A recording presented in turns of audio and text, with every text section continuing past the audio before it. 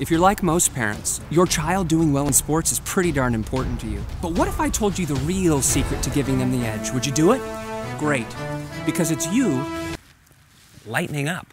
So when you find yourself sleepless over Junior's draft prospects, just remember cutting edge parents today are going all in on backing off. Because sometimes the best thing you can do is just chill.